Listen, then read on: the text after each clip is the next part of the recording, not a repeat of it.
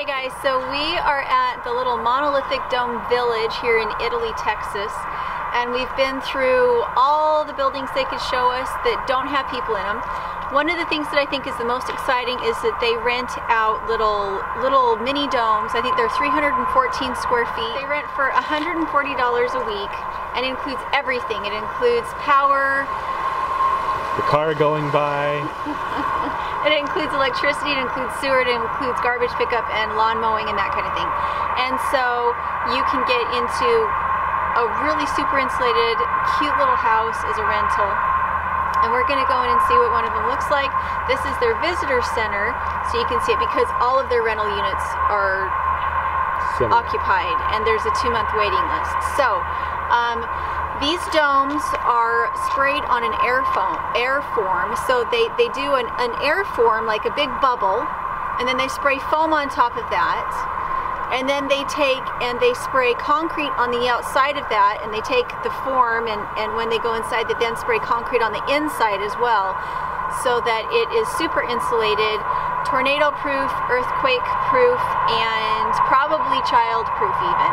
So we're gonna go inside and see what it looks like. Go ahead and follow me in.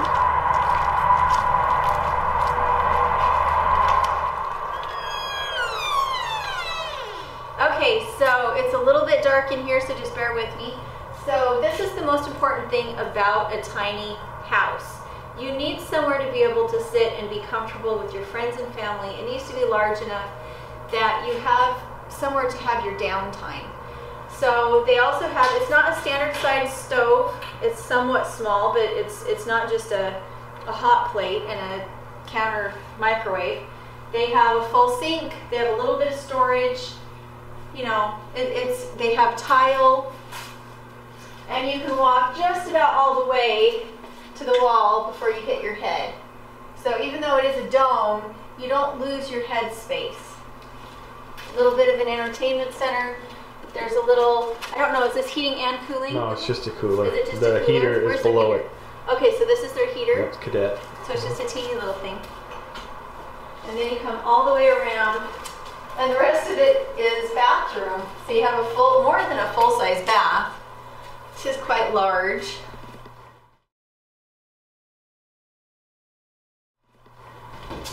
And again, you're not hitting, one of the things we do worry about is moisture because it is a sealed envelope.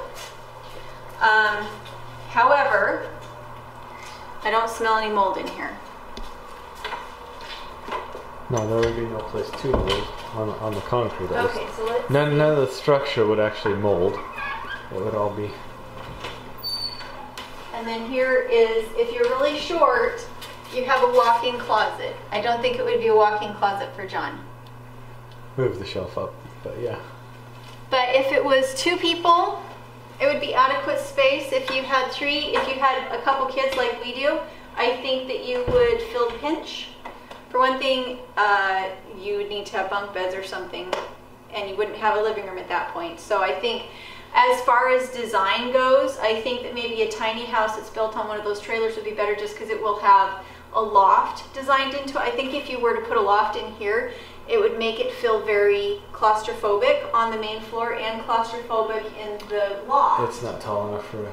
I think that the strength of this one is that it is weatherproof, uh, highly efficient, um, but I think you do actually lose a little bit of space because the walls are not straight because then some of your storage possibilities are a little bit limited. But all in all, I think I think this is a great little design and inexpensive rent for somebody that is wanting a really cute little idyllic looking house for not very much. And I know that some of them are actually movable. He has some that are actually forms that are move movable. They, they put they literally put on a trailer and trailer to your place. There is the book written by the dude. By the dude who wrote the book about the dude and the other dude. He rents them out for 145 a month, and that includes everything. He pays for all maintenance. No, 145 a week. Sorry. I'll start over. Sorry, yeah. Uh, so one of the really neat things here is that they have these little rental mini domes that are 314 square feet, and he rents them for $145 a week. and it includes Hundred and forty dollars a week. We're gonna have to blooper reel on this one. Okay, so we're here at the little monolithic dome business slash village in Italy, Texas, and one of the things that I think is the neatest is that there's these little mini domes that are 314 square feet, and they rent for $140 a week, which is really good for rent. But not only is it good for rent, but it includes. It's okay. What is it? What is it? The batteries? No, it's my phone.